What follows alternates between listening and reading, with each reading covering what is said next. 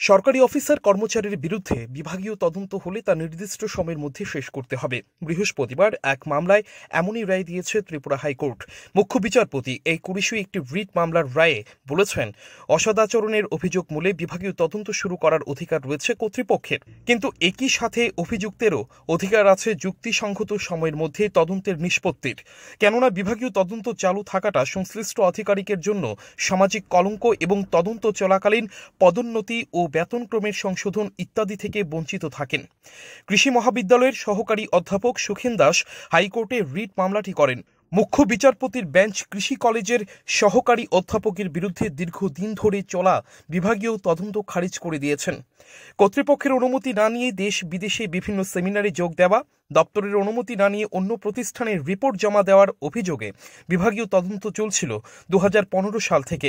দু হাজার কুড়ি সালের মার্চে রিট আবেদন করেন সুখেন দাস। মামলার রায়ে বিচারপতি এ কুরিশি বলেছেন আর্টিকেল অব চার্জে আর্থিক দুর্নীতির কোনো অভিযোগ না থাকায় এবং তদন্ত নিষ্পত্তিতে অত্যাধিক বিলম্বের জন্য তদন্ত চালু রাখতে দেওয়া হবে অযৌক্তিক ও ন্যায়ের পরিপন্থী। রিট আবেদনকারীকে বেতনক্রম সংশোধন ও অন্যান্য প্রাপ্য আগামী তিন মাসের মধ্যে মিটিয়ে দিতে রাজ্য সরকারকে নির্দেশ দিয়েছে উচ্চ আদালত। আবেদনকারীর পক্ষে মামলা পরিচালনা করেন আইনজীবী পুরুষোত্তম রায় বর্মন তাকে সহযোগিতা করেন আইনজীবী সমরজিৎ ভৌমিক ও কৌশিক নাথ।